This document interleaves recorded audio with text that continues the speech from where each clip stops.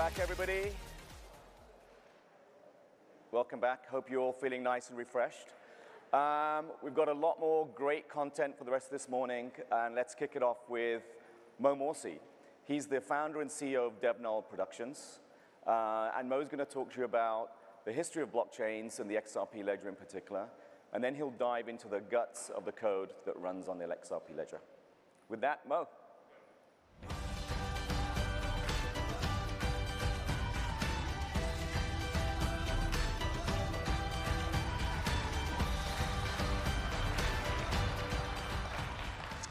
Thanks for coming, everyone. It's a great honor to be here amongst the many esteemed presenters at this inaugural Apex conference.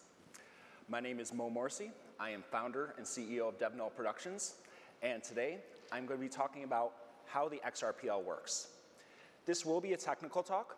We will dive into code and various other technical aspects, but I do want to share this in a way that everyone can derive value from it. So without further ado, let's begin. Let me ask, which way ought I to go from here? Well, that depends a good deal on where you want to get to. In this talk, we're going to be talking about the history of the technology, our roadmap, which has led up to this point. We're going to be exploring Byzantine fault tolerance, what's that mean and what's entail.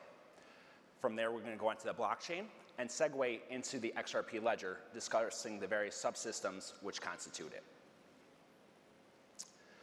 a little bit about us.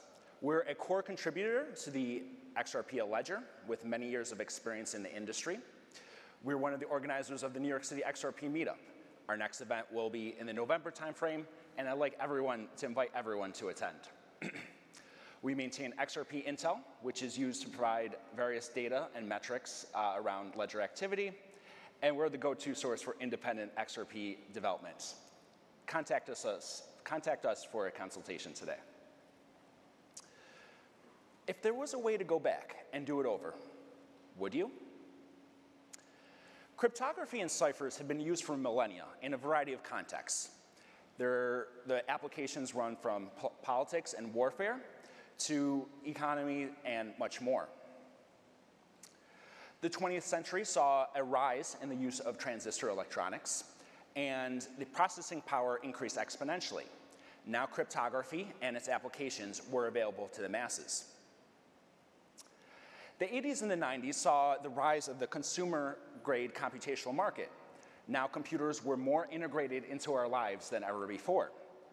Subsequently, parallelization and distributivity became important subject matters. Interconnected networks meant that we could tackle larger problems than ever before, but this required innovative solutions in order to do so. In 1982, researchers working at SRI International on a NASA-sponsored project dubbed the Byzantine Generals Problem. This was used to model systems engaged in distributed consensus. to quote from the white paper, there are at most M traders, and since there are more than three M generals, we may apply the induction hypothesis to conclude that the conditions are satisfied. Well, what does this mean? You need at least two-thirds of the decision makers in a system for distribute, to be trustworthy for distributed consensus to work. nodes in the network relay messages, nodes that are implementing Byzantine consensus, to each other. These are used to modify a state machine based upon agreed parameters. Lifecycle operations occur in discrete phases such that nodes can be assured of compliance by their peers. After this, the 2000s saw the emergence of BitTorrent and Bitcoin.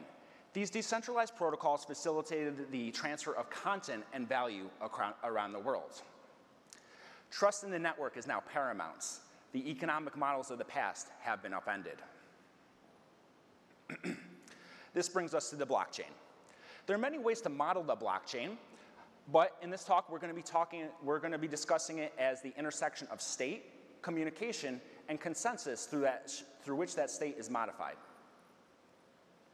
Nodes, and depending on which blockchain we're talking about, these can refer to miners in the case of proof of work, stakers, or validators in the case of XRP. They maintain a database of state information which clients modify in finite ways. Identity between those nodes is established through cryptography, which is also used to track changes in the data set in an immutable way. Finally, that those changes are transmitted through the network in a peer-to-peer -peer manner. so the XRPL implements a blockchain whose state is modified through Byzantine consensus. Transparency and decentralization means that the network operates without any single point of failure or a single authority. the rippled codebase implements the algorithm, and we're going to explore that now. Day destroys the night, night divides the day. Try to run, try to hide. Break on through to the other side of the XRPL. rippled implements the XRPL standards. It's written in C++, one of the most popular programming languages in the world, and it's supported on Linux, Windows, and Mac OS. the cross-platform CMake build system is used to compile the source code into binary. See the CMakeLists.txt file, as well as the build CMake uh, directory for the installation logic. Here we see the definition of the core rippled component, as well as some compiler definitions. C and C++ applications start their execution at the main entry point.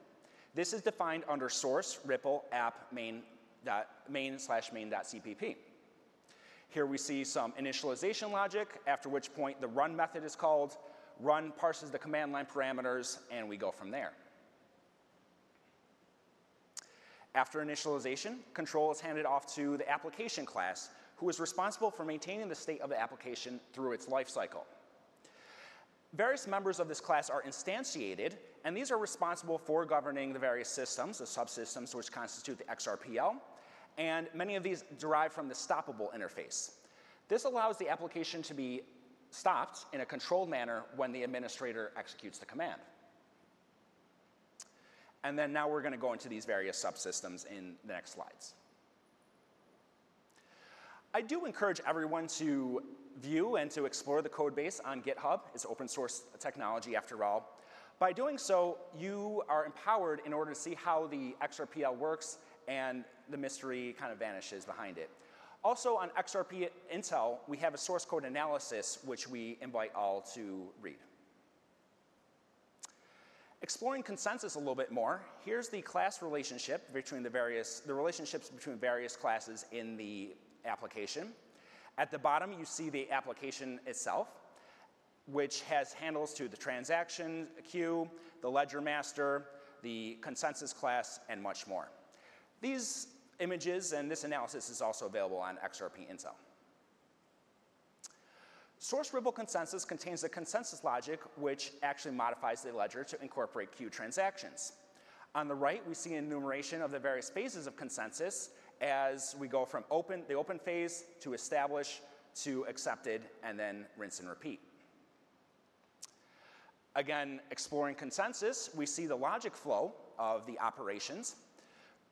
Application launches begin consensus, calls out to that method, as well as launches an asynchronous timer, which is used to periodically jump into the application at various points in time. Begin consensus sets the phase to open, and then when the timer is invoked, we check the phase. If we're in the open phase and it's now time to close the ledger, we set the phase to establish, we apply held transactions. Once again, when the timer is invoked, we check the phase. When we're in the established phase, we update our positions, the positions of other nodes on the network. We set the next ledger close time, and we rinse and repeat. so to quote from one of the pivotal white papers the, on the topic of Byzantine fault tolerance, the replicas move through a succession of configurations called views. Views facilitate controlled access to the ledger such that data may be read and written to in a controlled manner and rolled back if necessary. So application has a handle to open ledger. Open ledger has a handle to open view, which derives from read view, also has a handle to apply view, in which the transactions are applied. But we've only just begun to go down the rabbit hole. data is modified through serializable data types that are persisted to the disk. The base class of this is ST-base, serializable type base, through which other subclasses implement the various data, data types that the application uses. Here we see representations of accounts integers, strings, and more. the node store is a subsystem responsible for persisting the binary object to the disk. Currently, it implements two backends, RocksDB and NuDB, but it being open source software, everyone is welcome to extend it to add whichever backend that they so choose.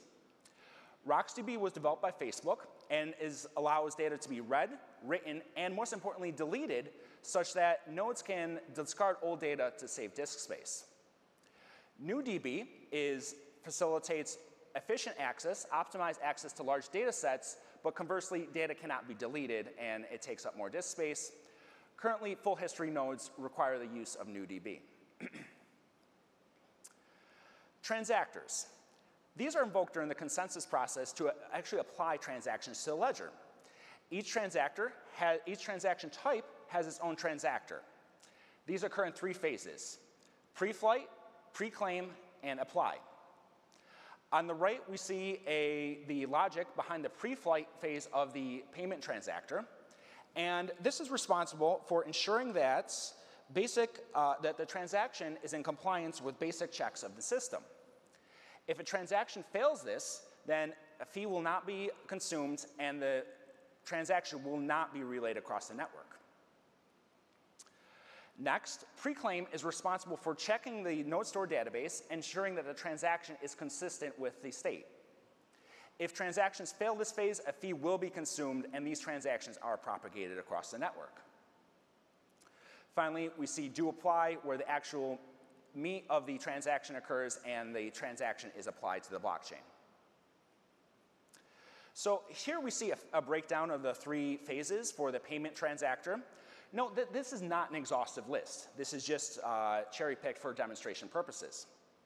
So in pre-flight, we ensure that source and destination accounts are valid, source and destination amounts are greater than zero, uh, amounts, excuse me. The, if we're sending or receiving XRP, payment paths are not specified, and much more. In pre-claim, we ensure that if we are not sending XRP, the destination account exists. If we are sending XRP to a, an account which doesn't exist, we're at least sending the reserve requirements that if the destination tag is required, we specify it, et cetera, et cetera. Finally, in the apply phase, we actually create the blockchain account if it doesn't exist. If it does exist, we update the blockchain account, we charge the fee, we credit the destination account, debit the source accounts, and more.